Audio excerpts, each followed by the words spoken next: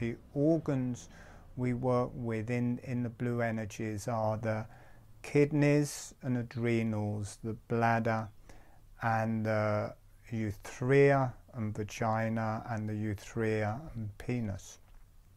And the urethra and penis and vagina, they're more kind of the, the really quite deep earth energies for it. They're the earth for it anyway. And the bladder, much more emotional center, um, has kind of a female quality. It's a bit like the heart for the um, blue energy circuit. And then we come up to the kidneys. They're a bit higher energy and they're a bit more like the lungs. And then when you come to the adrenals, these connect the nervous system and the brain and a kind of the, the higher energies for that circuit. And um, this particular circuit is conflicted. I wasn't going to say that, but is conflicted a lot in people.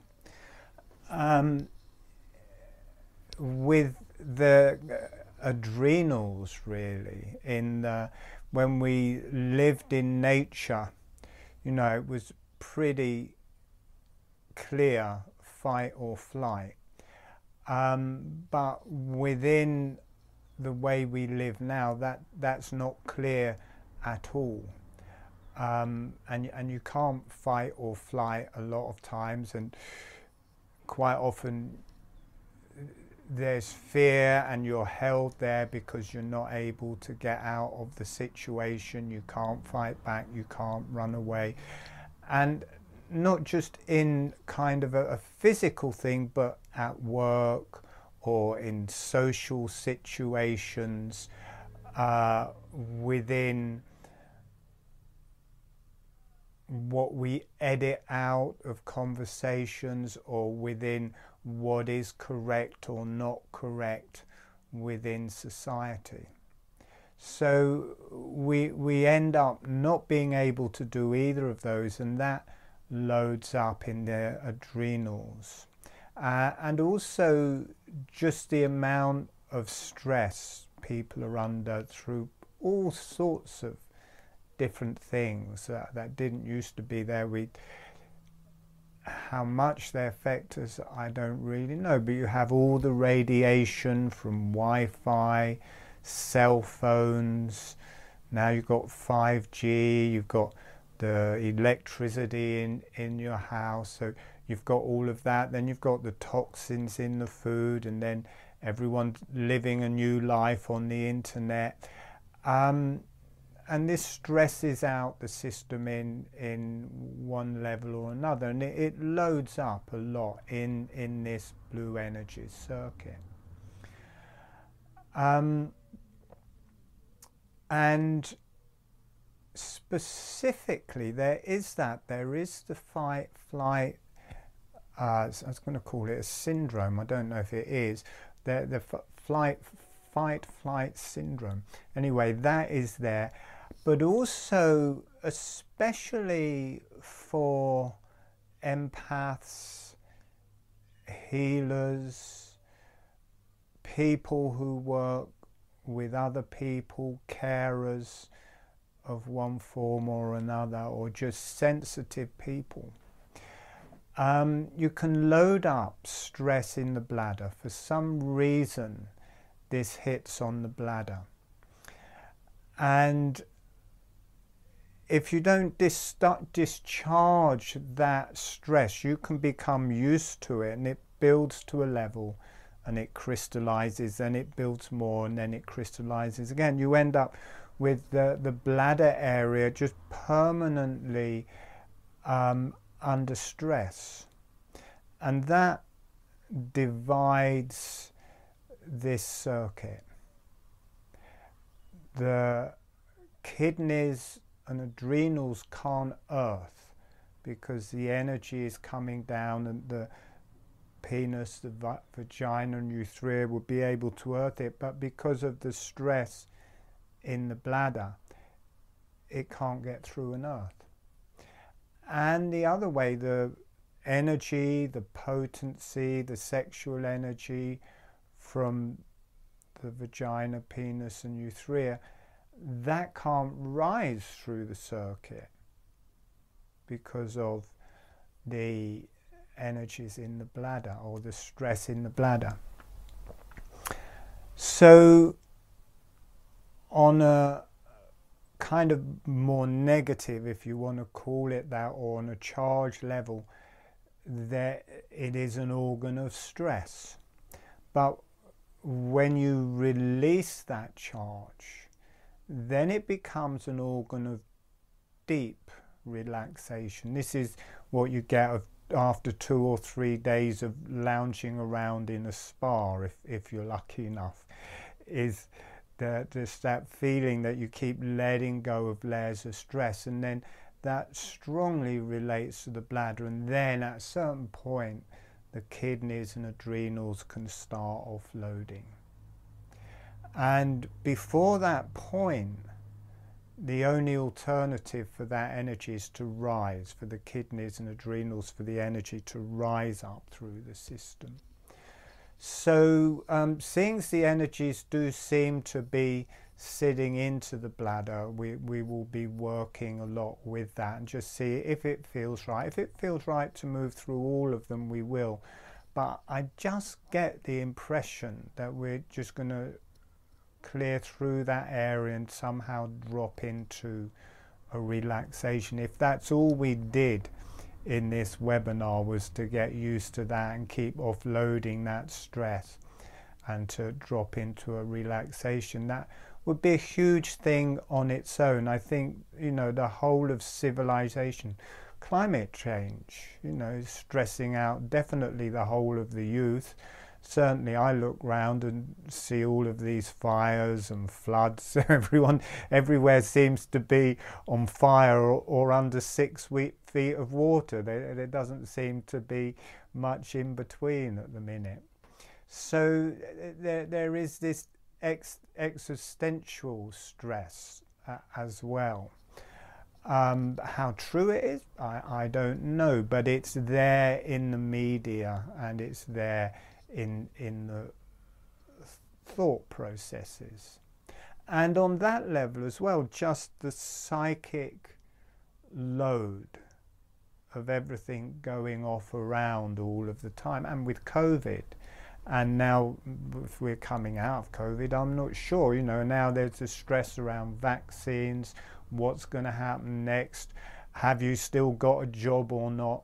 You know, there's a lot, lot of uncertainty. So being able to drop into a, a, a space of just relaxation is quite a formidable thing um, these days.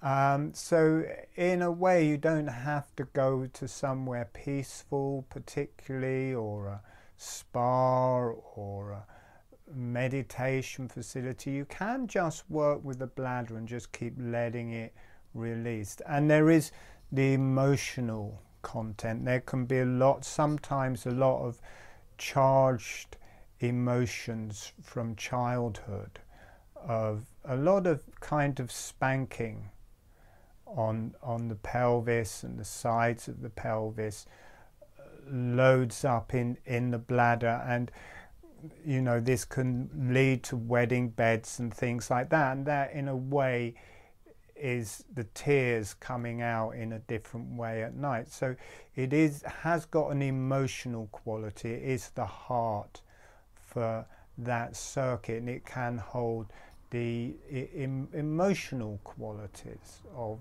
what has happened to us. And uh, I'm not sure exactly how I'm going to go through it today. I'm just just getting some information coming through. Uh, I got my eyes closed. Um, but we will start off with just working through the different energies and then working into, or we'll work through the deep earth energies in the back of the cranium then the fire energies through the, the front, what I now call the balance bone, the front through this area, then the yellow energies then we'll drop into the blue energies. I'll show those in, in a moment. But I also want to address uh, how this works through the brain. Or, or in this case, the, the, the cranial fluids. I'm just where it relates to in the cranial fluid, you have kind of two places that cranial fluid is produced in the in the brain and spine. One is from the through the endothelial cells around the capillaries. I'm changing the names because the names at the minute lead into a way that for me is kind of an old paradigm now and you can't help but fall back into that way of viewing it. So I'm going to change the names of the, the, the fluid within the cells of the brain. It's normally called the interstitial fluid and this is normally in the ventricles is normally called the cranial fluid. But that divides it and produces a picture where people think that cranial fluid does not flow between the cells of the brain, does not go into the cells of the brain, that they are separate. It causes a divide and it is very different to how I view it. So I've renamed it.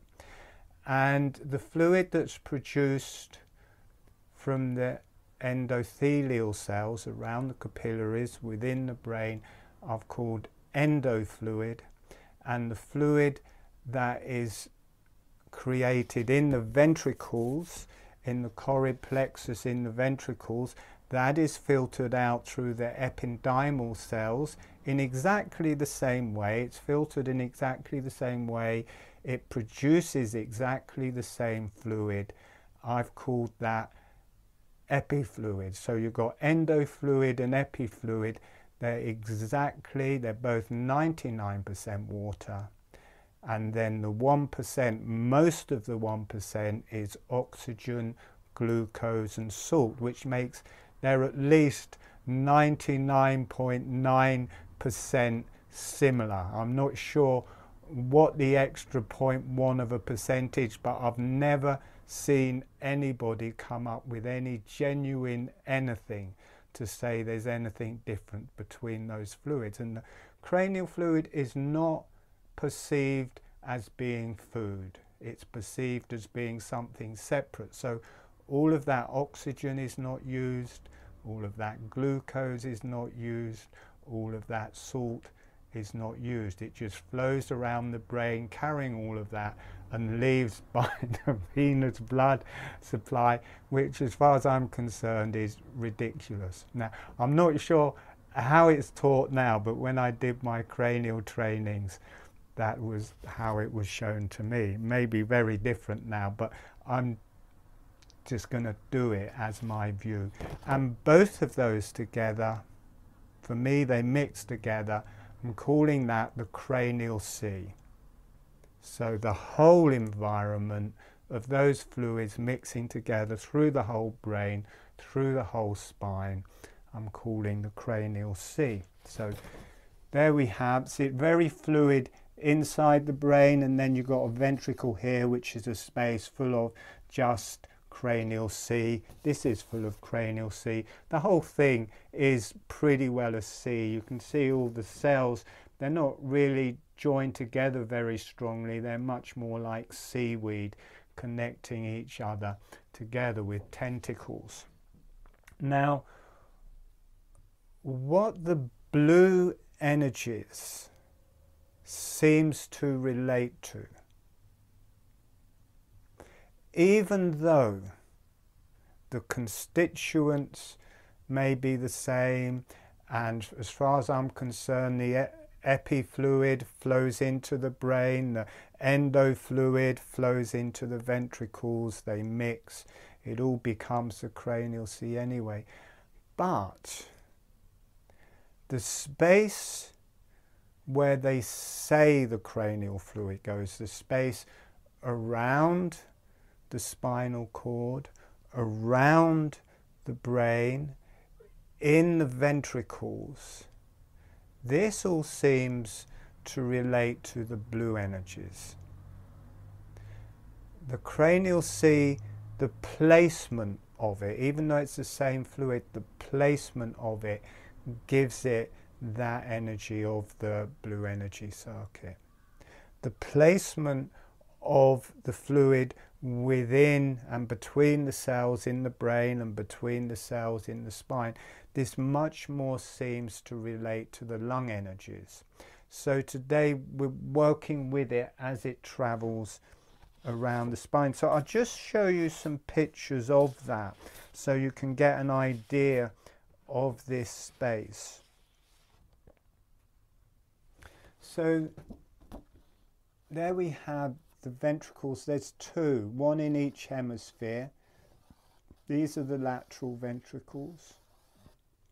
This comes into a third ventricle in the middle. This is side on. It makes a big diamond when you look from the front.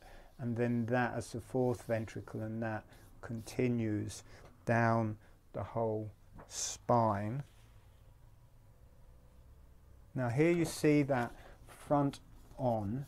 Let me show you. There's the top. There's the lateral ventricles, the third ventricle, the fourth ventricle that's a diamond. That comes down the inside of the spine and that mirrors. You've got the kidneys and adrenals coming together into the bladder, coming down into the penis vagina. Maybe if I turn it sideways, you can see they kind of mirror each other and energetically connect there. So there's that. We just these are I just painted these about 10 years ago just so I could depict how I visualized the, I'll turn it sideways so you can get a picture there's a side there's a front view at the bottom and a side view at the top of the ventricles including going down the spine there just so you get a picture you don't have to remember the names it's just a picture. Here we have it coming down the spine so the it's much wider so that I could get it all in and I put all the nerves in. This was to show the nerves but the dural sheath is around the outside. Then you've got a layer of cranial sea outside of the uh, central nervous system outside of the um, spinal cord here and then you've got the normal or the also a different or still still cranial sea inside that but you've got the outer layer here for the blue energies in the spine and then around the outside of the brain. So it's between the dural tube surrounds it here and the dural tube surrounds it sorry dura surrounds it there and you've got it in there uh, and interestingly, when we were working with the yellow energies, the esophagus was relating to the dural tube running down the whole length of the spine that's containing all of that. The stomach was relating, you know, because the cranium is kind of round, the spine is long and thin, so you've got the esophagus was relating to the dural tube in the spine, and then the stomach was relating to the dura in the brain. So you've got this round bit and this long bit, and then in the you've got that in the stomach, and it's similar in the blue energies. The penis, vagina, and urethra, which is long and thin, they relate to this cranial sea that's around the spinal cord right down to the bottom of the spine in, in the spine, and then the bladder more relates to the cranial sea around the brain. So those organs match each other, and in the stomach, uh, in the yellow energies, it's the dura of the cranium and the dura of the spine. In this one, it's the cranial sea in the spine and the cranial sea in in the head. Let's just carry on a bit and just show you some more pictures. So here we have it. Now I've drawn the thalamus here, and these are this is this is from the front, and these are the um, two halves of the cerebellum. The, it is in kind of some of it is in 2D and some of it's in 3D. These are kind of more 3D. The thalamus does stretch back and out, and the lateral ventricles do wrap themselves around the thalamus, and that drops into the third ventricle inside the thalamus, and then comes down into the fourth ventricle. See, in the fourth ventricle, it's this diamond shape here, and then that carries down the whole spine. This part here, this more relates to the kidneys on either side. Then as you come into this front lobe of it, that more relates the adrenals. When it drops into here, I'm not 100% sure on this, it's not the bladder, it drops into the heart, but it's not it's not the fire energies how we normally perceive the heart. The where the cranial or where the see I keep on going to the old language where the where the cranial seed travels down the nerves. This travels through the myelinated glial cells, makes capillaries, and these are also part of the blue blue blue circuit. The nervous system is also part of the blue circuit, and it's how the nervous system is connected to the heart, and you get this strong connection from the adrenals to the heart where the adrenals go off and you get these palpitations of the heart. And it's that feeling of the adrenals and the nervous system connection to the heart. I couldn't understand it before because it was definitely dropping into the heart, but it was staying blue. And then I realized it was the ner nervous system connected to it and the cranial seeing the nerves, that energy in the heart. And then the fourth ventricle, the diamond, that's where it drops into the bladder. And then as soon as it comes out of that, but it's quite amazing, as soon as you come out of that bottom diamond, this connects into the urethra and penis vagina and travels all the way down the spine.